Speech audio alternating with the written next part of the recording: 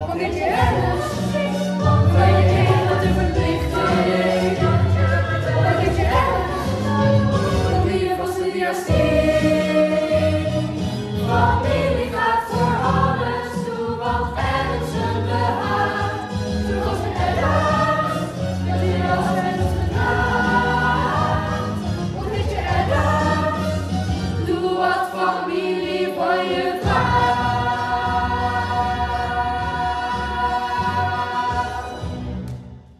Nou, wij eh, staan hier eh, in het uh, Modder Juvenaat, waar eh, de jongere afdeling van de BOV zeg maar, aan het repeteren is voor hun uitvoering van de Adams Family. En tegenover mij staat Joep en Janneke en jullie gaan eh, Gomez en Morticia doen, hè Joep? Dat klopt inderdaad, ja. Ik speel Gomez en eh, Jan hier speelt Morticia. Ja. Nou, dat zijn wel de twee grote hoofdrollen, toch? Ja, zeg dat wel. Het is ook enorm leuk om te doen, dus dat scheelt ook heel erg. Ja. Hoeveel eh, moesten er nou eh, auditie doen voor jouw rol? Voor mijn rol, ja, iedereen heeft eigenlijk auditie gedaan. Eh, tenminste, we zijn eerst begonnen gewoon als een hele groep om eerst aan de groepsplan te werken. En daarna hebben ze zelf gekeken vanuit eh, de leiding van bij wie past welke rol gewoon het beste. Dus er is niet echt auditie gedaan voor de rol van Gomez, zeg maar. Dat niet. Oké. Maar wel een leuke rol? Ja, dat zeker. Het is de leukste rol die ik bijna kan hebben. Wat mij betreft tenminste. En Janneke, hoe is het bij jou? Ja, ik ben echt super blij dat ik deze rol heb eh, gekregen. Stiekem hoopte ik het wel een beetje, dus eh, ik was heel gelukkig toen ik het hoorde. Dus ja, En eh, heb je wel eens wat van de Adams Family gezien? nou, om heel eerlijk te zijn niet.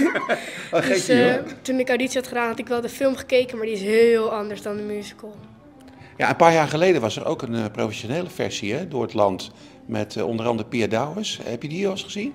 Nee, ik heb gewoon YouTube-filmpjes opgezocht, maar nou, nooit echt gezien of zo. En nu gaan jullie, eh, twee keer gaan jullie spelen, hè, Joep? klopt, Eh, in eh, ja, eind maart en begin april, hè?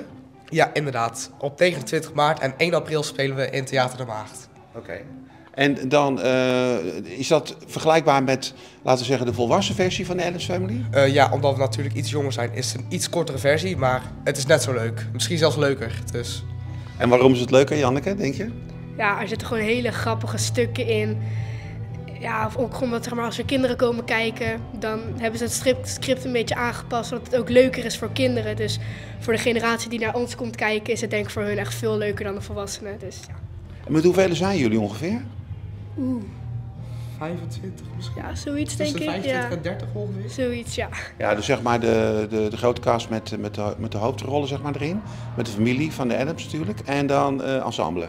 Ja, Inderdaad. Dus veel dansen ook, eh, want ik heb net een heel klein stukje gezien. Veel dansen ook hè, erin. Ja, er is echt heel veel dans in. Gelukkig hoef ik zelf niet heel veel te dansen, want ik ben niet de beste danser, maar er zit wel heel veel dans in. Dat Ja. wel. En, en jij, moet jij veel dansen? eh, redelijk. Maar de voorouders die hebben het wel zwaar met de dans. Gelukkig wij iets minder zwaar. Maar er zitten wel een paar stukjes in die wel moeilijk zijn, maar het lukt ons wel hoor. Ben je daar blij om? Of, of heb je zoiets van, eh, nou ik had eigenlijk wel een paar dansen en eens willen hebben? Nou ja, omdat, zeg maar, we hebben best wel een grote rol, dus dan is het wel fijn dat je iets minder dans hebt. Ja. Ik vind het wel leuk om te dansen, maar het is wel eh, fijn voor iets minder. ja. Er zitten veel teksten in, ook voor jou? Ja, voor ons wel echt heel Ja. veel. Ja. Klopt. Vooral eh, voor Joep. Ja. me echt op, er zijn echt een paar die doen de stapjes allemaal wel, maar die doen het allemaal wat vlakjes. Ja. Echt op de spierspanning spelen. Ja. Ook met het acteren. Als je hem Ja. stevig pakt, is het gelijk, komt het, knalt het ook die zakken in. Nou, de, de dames en heren die heel druk bezig zijn met, eh, met de jong BOV op dit moment, eh, die ook twee keer dus eh, de Adams Family gaan doen, dat eh, zijn Marcel eh, van As en eh, Lieselotte Bernards. Hè? En eh, ja, Lieselotte, jij eh, bent heel druk met de choreografie op dit moment, hè? Ja, klopt. Ja, het is eh, echt de laatste loodjes, hè? dus dat is altijd lekker pittig. Ja. En zit er net zoals bij de volwassensversie ook heel veel dansen en dansstijlen? Ja, ja, het is echt heel afwisselend en de kinderen zijn ontzettend veel eh, met van alles bezig. Dus het is echt, echt elke keer wel een beetje aanpassen aan wat ze moeten doen. Maar ze doen het echt heel goed. Ja, ja. Ja, Marcel, jij bent regisseur. Eh, zijn ze net zo gedreven als, als jullie eh, bij, de, bij de volwassenclub? Nou ja, ja, enorm. Kijk, het- het leuke aan deze club en aan, aan, aan die jongeren is de, die gretigheid. En eh, je kunt heel snel met ze werken. Je kunt ze nou ja, heel goed programmeren. Ja. Waardoor je ook al heel snel kunt gaan. eh, ze, ze zijn wat onbevangener, dus ze durven wat meer te experimenteren. Eh, ja, en dat geeft wel een hele gave gave klik in die, in die groep. Ja. Ja, en ik denk dat ze ook wat sneller dingen onthouden, of niet? Ja, dat. Eh, Ze onthouden het snel, maar het, het- we moeten het wel goed herhalen. Want het, ze onthouden het snel, maar het zijpelt er ook weer uit. Wat je merkt, dat tenminste wat wij merken bij de jongens, wat heel belangrijk is om het, eh, het stuk goed bij elkaar te houden. Dus minder in stukjes repeteren, maar steeds zoveel mogelijk doorlopen dat ze weten waar ze vandaan komen, waar het bij hoort, waar het achterkomt, voorkomt. En als je dat meepakt, ja, dan krijg je al heel snel dat je lang kunt doorlopen en echt al een voorstelling ziet groeien. Ja, dus je bedoelt eigenlijk dat ze een soort van overzicht behouden over wat ze aan het doen zijn eigenlijk. Ja, ja, je merkt echt wel dat, ja, dat het puberbrein werkt anders. dus eh, het is ook echt anders werken dan regisseren of werken met volwassenen. Ja.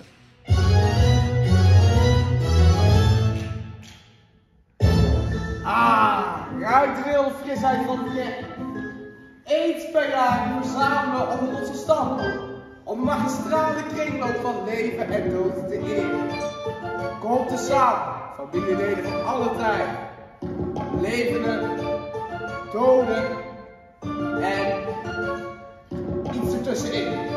En vertel ons wat het is van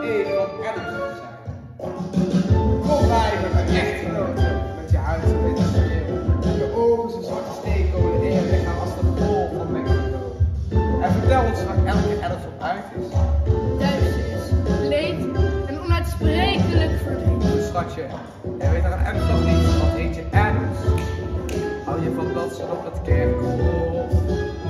Wat heet je Adams? Dan ben je eerste van de dag. In je grijze huilen naar de maan. En grauw en grijs geeft kleur aan je bestaan. En het verhaal, eh, lijkt het nou veel op eh, wat jullie gaan doen? Eh, ja, het is, het is in basis hetzelfde verhaal. Het is eh, wel een kortere voorstelling. De Jong BOV-voorstelling gaat zo'n vijf kwartier duren, zonder, eh, zonder pauze. Het is hetzelfde verhaal. Alleen het is wel aangepast aan, een, ja, aan, aan de doelgroep die het speelt. Dus de liefdeslijntjes die erin zitten, die zijn iets minder expliciet, zullen we maar zeggen. Dus het is, het, het is aangepast naar en, en er zijn ook wat dingen uit. Eh, ook wat nieuwe dingen in. Dus het, het, het zijn echt wel twee, het worden twee verschillende shows. En zijn dat ook dingen, eh, Lieselotte, die dan eh, bijvoorbeeld er nieuw inkomen gewoon tijdens dat jullie aan het repeteren zijn? Dat je denkt van, oh, dat is ook leuk.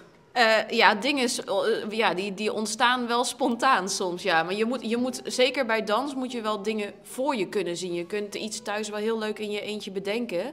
Maar dat kan zomaar in de telling niet kloppen. Of dat je met te veel bent. Of dat het qua lengte niet klopt. Ja. Dus sommige dingen moet je wel echt op dat moment zetten. En eh, het, het leuke is dat de kinderen af en toe zelf ook ideetjes inbrengen.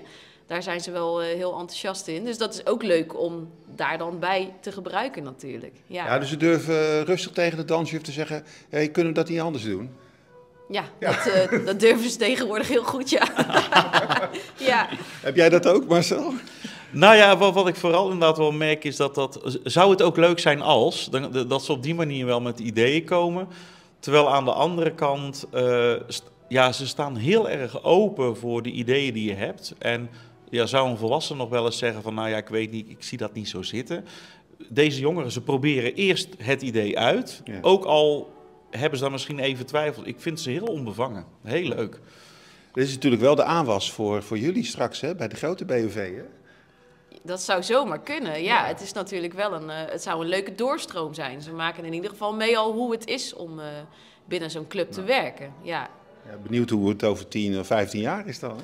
Nou ja, wat, wat vooral ook onze drijfveer is, is niet zozeer als de directe doorstroom naar de BOV, maar de directe doorstroom om kinderen, jongeren warm te hebben voor, het, voor cultuur en theater maken.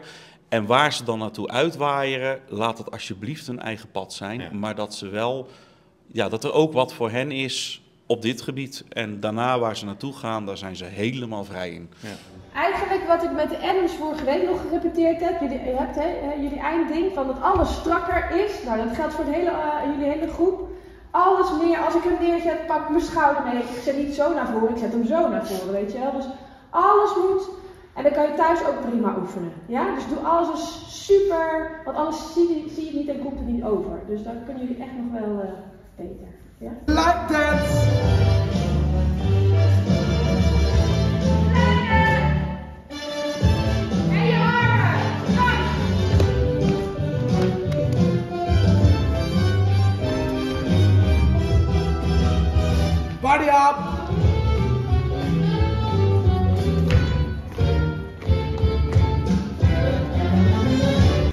Leer je dan thuis? Ga je voor de spiegel staan of, eh, en kijken of met, neem je het op of zo en dan controleer je dat of het goed is? Of... Nee, mijn moeder is zelf ook van theater, dus ik eh, oefen alles met haar. Ah, je moeder zit ook bij de BOV? Nee, nee, zij doet het gewoon zelf ook met eh, kleine producties mee en zo. Dus, eh, dus ja, jullie overhoren elkaar eigenlijk zo? Ja, klopt, ja. Dat is mooi. En hoe doe je dat bij jou, eh Ja, Joep? ik neem het vooral eigenlijk op thuis. En dan eh, luister ik het gewoon zo vaak terug als ik kan. Ook in de trein, in de auto, op de fiets. Overal luister ik het gewoon terug. En op een gegeven moment wordt het gewoon automatisme en zit het er gelijk in. Dus Ja. dat is heerlijk. Ja, ja, precies. Nou, is Gomez natuurlijk ook een, eh, een beetje ja, een Mexicaans karakter met eh, Spaans temperament. Spreek je een beetje Espanol? Eh, No, no, no, no. ik, No ik kan hoi zeggen en doei en tot vier tellen of zo. En dat is het in het Spaans. En, en, en cerveza? Dat is een biertje. Oh, oh ja. Nou, die ook al wel. Ah, Oké, die onthoud je wel. Oké. Nou, heel veel succes jullie Ja, eh, dankjewel. tweeën. Nog met de laatste repetities. En iedereen natuurlijk bij de cast. Ja. En eh, we gaan eh, denk ik toch een van de dagen eh, even komen kijken. Want ik ben wel heel nieuwsgierig. Gezellig. Ja, oké. Nou, succes. Ja, bedankt. Je? Doe wat van wie